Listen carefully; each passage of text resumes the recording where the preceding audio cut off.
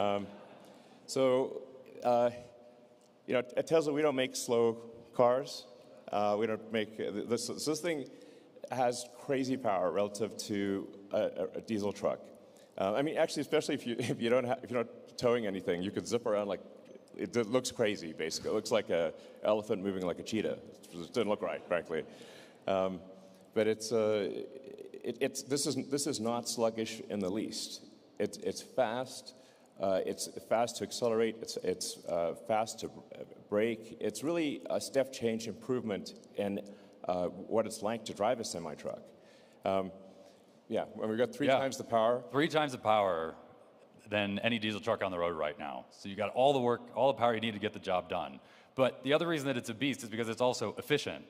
And you, know, you can go 500 miles on a single charge on one of these things.